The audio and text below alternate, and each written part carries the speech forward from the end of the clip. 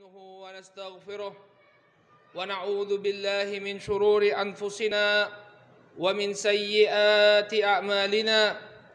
من يهده الله فلا مضل له. محمدا عبده ورسوله. اللهم صل وسلم على نبينا محمد وعلى آله وصحبه أجمعين.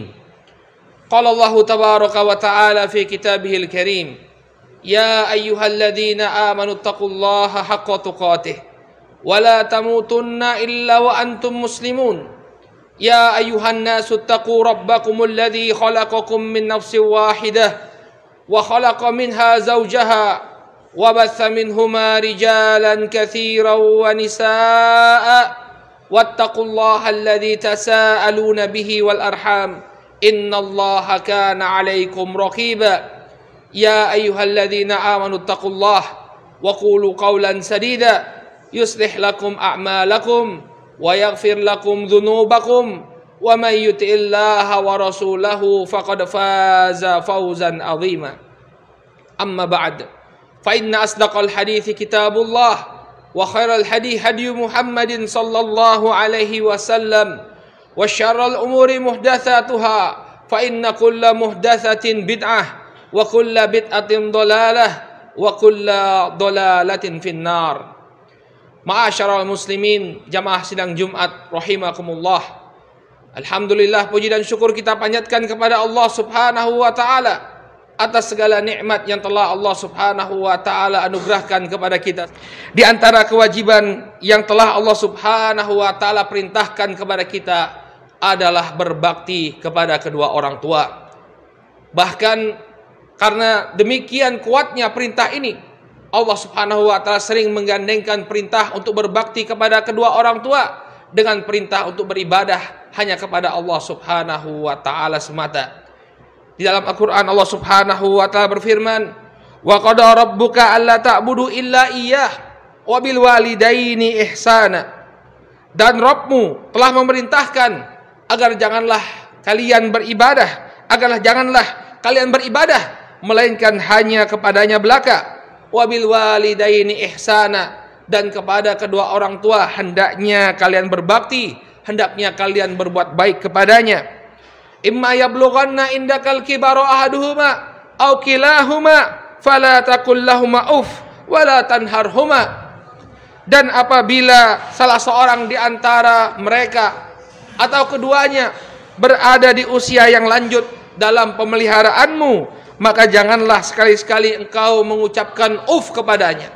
Jangan mengatakan ah kepadanya. Wala tanharhuma apalagi sampai membentak mereka berdua. Wa kullahuma qaulan karima dan ucapkanlah kepada mereka berdua ucapan yang penuh pemuliaan. Wahfid lahuma janah mana mereka telah merawatku ketika aku masih kecil. Masyaallah muslimin jamaah sidang Jumat yang dimuliakan oleh Allah. Apabila kedua orang tua kita masih hidup, maka hendaknya kita perlakukan mereka dengan sebaik-baiknya. Buat mereka bahagia, buat mereka gembira. Namun ma'asyarul muslimin, sebagian di antara kita telah didahului oleh orang tua kita. Orang tua kita telah wafat mendahului kita. Maka bukan berarti ma'asyarul muslimin, kewajiban kita untuk berbakti kepada orang tua berhenti dengan wafatnya mereka. Namun seorang anak tetap walaupun kedua orang tuanya telah meninggal dunia. Maka apa saja bentuk bakti seorang anak ketika kedua orang tuanya telah meninggal dunia? Maka di antara bakti yang paling utama adalah senantiasa mendoakan mereka. Jangan kita lupakan orang tua kita dalam doa-doa kita, terutama ketika mereka telah meninggal dunia.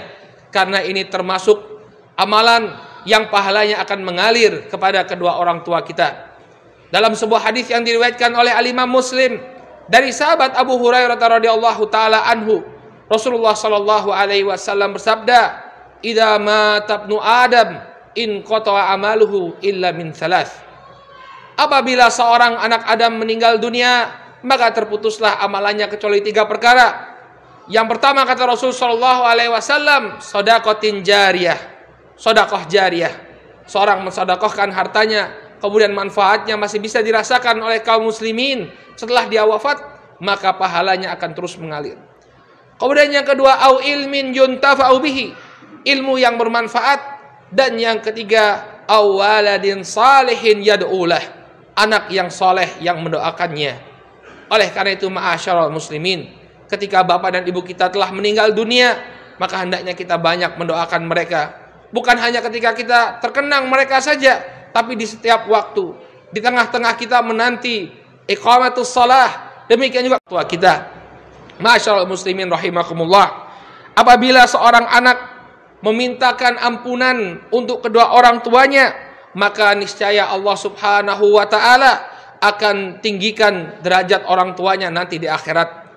Dalam sebuah hadis yang diriwayatkan oleh Al-Imam Ahmad dari sahabat Abu Hurairah radhiyallahu taala anhu kata Nabi sallallahu alaihi wasallam innallaha azza wa jal la yarfa'u darajata lil abdi salih fil jannah. Sesungguhnya Allah Subhanahu wa taala akan mengangkat derajat seorang hamba yang saleh di surga kelak.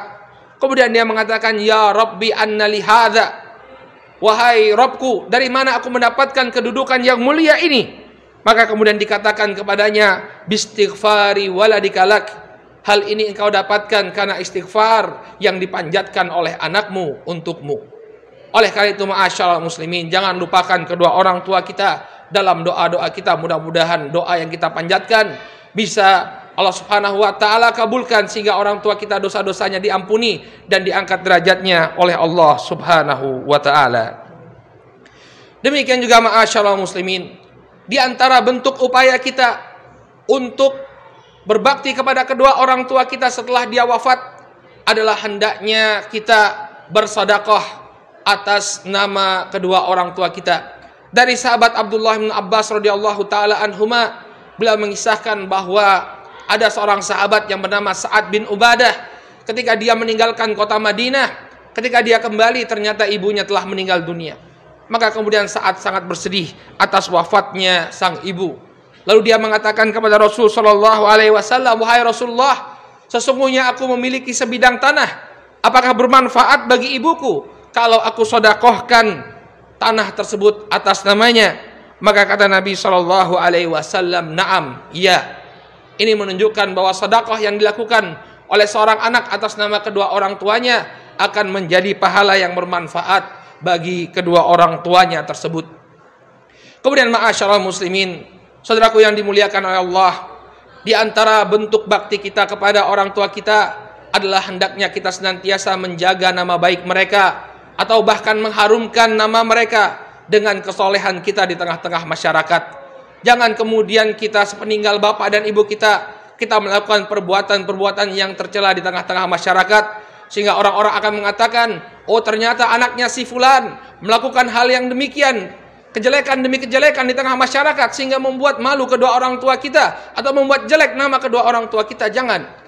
Tapi justru seseorang hendaknya dia menunjukkan akhlak yang baik, adab yang baik di tengah-tengah masyarakat sehingga manusia pun kita lakukan untuk tetap melakukan bakti kepada kedua orang tua kita walaupun mereka telah meninggal dunia. Mudah-mudahan Allah Subhanahu wa taala jadikan kita semua menjadi anak-anak yang berbakti kepada kedua orang tua dan semoga Allah Subhanahu wa taala mengampuni dosa kedua orang tua kita dan memasukkan mereka ke dalam surganya. Amin ya rabbal alamin. Barakallahu li wa lakum fil Qur'anil azim wa nafa'ani wa iyyakum bima fihi minal ayati wa dzikril hakim. أقول قولي هذا وأستغفر الله لي ولكم ولسائر المسلمين من كل ذنب واستغفروه إنه هو الغفور الرحيم. حمدا كثيرا طيبا مباركا فيه كما يحب ربنا ويرضاه.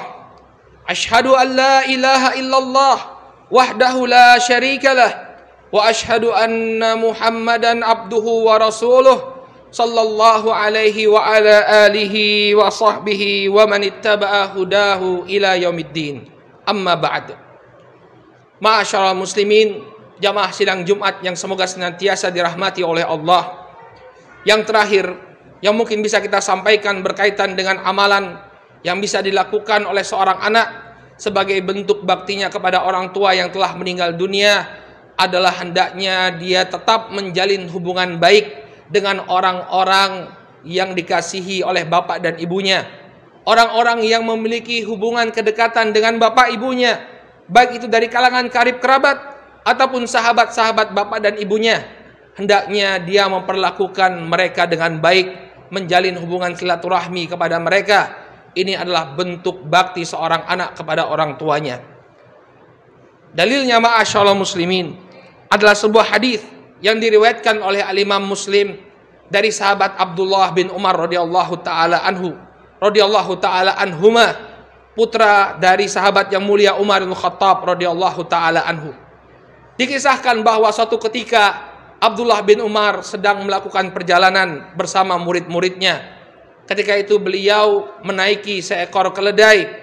Kemudian di tengah perjalanan beliau bertemu dengan seorang laki-laki yang kelihatan seperti orang dari desa, orang dari dusun, bukan orang yang terhormat. Tapi ternyata apa yang dilakukan oleh Abdullah bin Umar radhiyallahu taala anhuma, beliau turun dari keledainya, kemudian beliau berikan surbannya kepada orang tersebut, kemudian dia persilahkan orang tersebut untuk menaiki keledainya, kemudian dia pun berjalan kaki.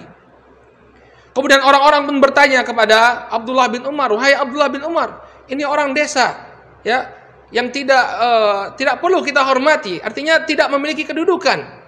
Ya kenapa kemudian engkau begitu memuliakan dirinya?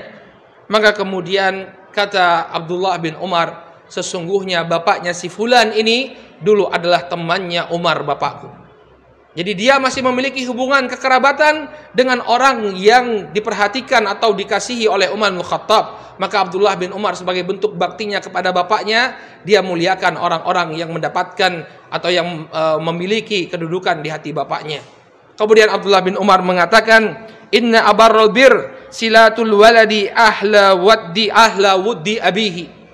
Termasuk bentuk bakti yang paling baik adalah seorang anak menyambung hubungan yang baik dengan orang-orang yang dicintai oleh bapaknya. Sehingga inilah tugas kita. Walaupun orang tua kita telah meninggal dunia, tapi hendaknya kita tetap menjalin hubungan baik dengan karib kerabat mereka, bahkan menjalin hubungan baik dengan teman-teman mereka, sahabat-sahabat mereka, orang-orang yang telah mendapatkan tempat di hati orang tua kita. Inilah ma'asyarul muslimin dalam khutbah yang singkat ini kita sampaikan beberapa hal yang bisa kita lakukan ketika orang tua kita telah meninggal dunia. Mudah-mudahan sekali lagi Allah Subhanahu wa taala jadikan kita sebagai anak-anak yang berbakti. Semoga Allah Subhanahu wa taala mengampuni kita, mengampuni orang tua kita, menganugerahkan, mencucurkan rahmatnya kepada kita dan orang tua kita dan memasukkan kita semua ke dalam surganya. Amin ya rabbal alamin. Allahumma lil muslimina wal muslimat wal mu'minina wal mu'minat الأحياء منهم والأموات برحمتك يا أرحم الراحمين. ربنا لا تزغ قلوبنا بعد إذ هديتنا وهب لنا من لدنك رحمة إنك أنت الوهاب. اللهم أرنا الحق حقا وارزقنا اتباعه وأرنا الباطل باطلا وارزقنا اجتنابه. اللهم اغفر لنا ولوالدينا اللهم اغفر لنا ولوالدينا وللمؤمنين يوم يقوم الحساب.